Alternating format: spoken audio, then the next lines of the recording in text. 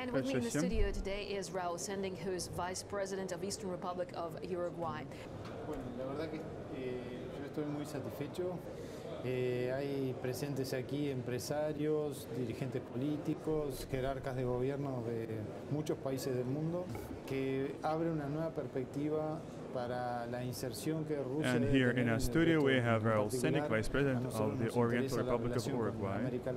I am very creo que es un, excited about this location punto de partida because importante para la- here you can find businessmen, eh, politicians, members of de un foro governments of different countries and new eh, exciting possibilities open up que en general todo el continente latinoamericano tiene una excelente and it relación works con, well con to Rusia. Hay una discuss muy buena new eh, relación opportunities for política, relaciones diplomáticas, countries of Latin coincidencia America. mayoritaria en, en los aspectos internacionales, Russia pero necesitamos in a special fortalecer forum el comercio y la cooperación. the O sea, el relationship between our comercio, el intercambio comercial y la cooperación there that no está a la all altura countries todavía have de great la excelente individual relación relationships política with y Russia, diplomática que hay whether entre nuestro continente y Rusia. diplomatic, incluso en and we interact in various international aspects, but we need to strengthen uh, work together, especially in the commercial sphere, Bueno, yo creo because today our commercial relationships aren't on the level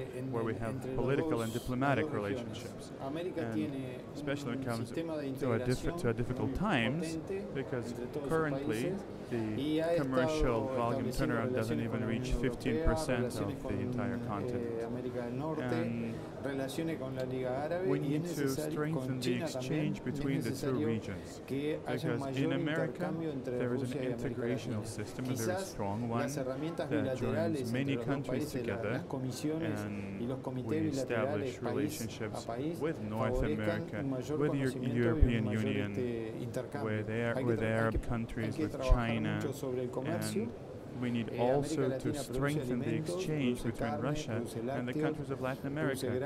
because Currently, we need to organize Eh, some commissions, meetings on the higher level necesita en muchos to- rubros, en energía, to see the strengthening happen because we need to work on the commercial eh, field because Latin America produces uh, goods, esa- ese vínculo y esa produce meat, fruit that would be very much in demand in Russia, whereas Russia is very en strong in technology. And for us, we need, we need your technology in energy sector and electricity and medicine.